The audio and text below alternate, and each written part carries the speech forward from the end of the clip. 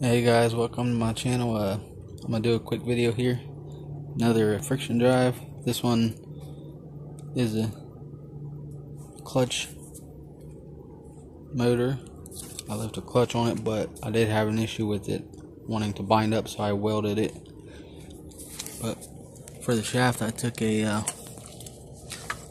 socket and welded it to the uh,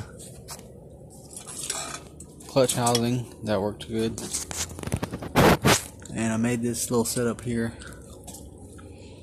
Just two bolts and bolts on I can move it wherever I want to for the uh, engagement arm. And see it going up and down. The engage is about halfway.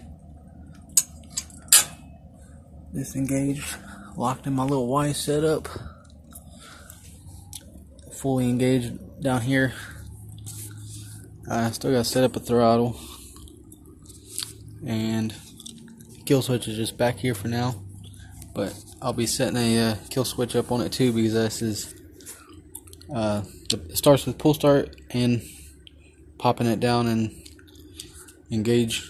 It'll start that way just like my other friction drive.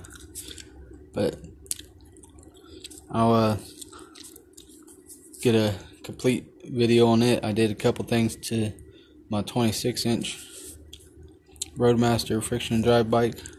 I'll get a video on that and another one on this one is fully completed as well. And there you go. Thanks for watching. Subscribe if you haven't. Later.